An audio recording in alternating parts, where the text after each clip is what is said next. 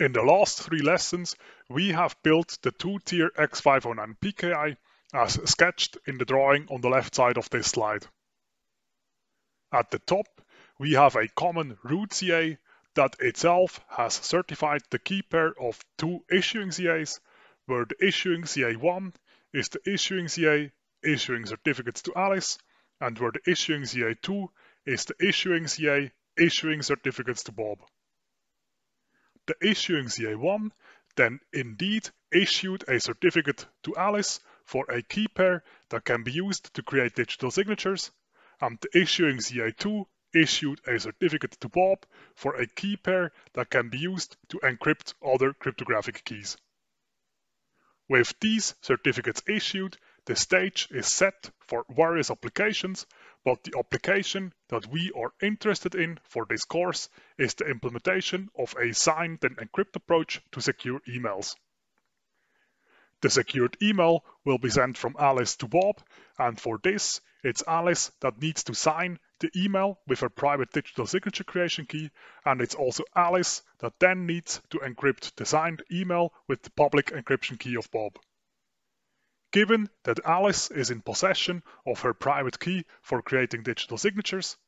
Alice is required to obtain the encryption certificate of Bob, which she can, for example, do by either meeting up with Bob in person or by fetching the encryption certificate of Bob from the public repository of certificates maintained by the PKI.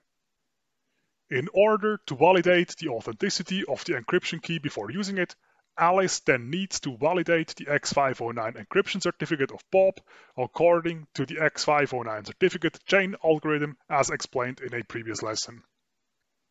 If the validation of the encryption certificate of Bob is successful, Alice is then good to go ahead with securing the email by signing and then encrypting the email and to send this secured email to Bob.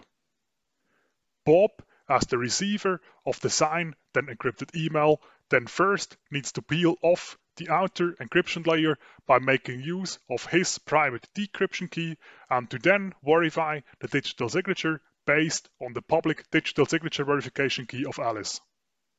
As Bob is in possession of his own private decryption key, the decryption is easy for Bob, but to verify the digital signature, Bob first needs to obtain the signature certificate of Alice, which he may fetch, for example, from the public registry of certificates as maintained by the PKI. Before Bob uses the certificate of Alice, Bob as well needs to validate the authenticity of the digital signature verification key, and this is again just Bob validating the obtained certificate based on the X509 certificate chain algorithm as explained in a previous lesson. If the validation of the signature certificate of Alice is successful, Bob is then good to take the key contained in the certificate to validate the digital signature provided on the email received from Alice. If the validation of the digital signature of the email succeeds, Bob can then conclude that the email was indeed sent by Alice.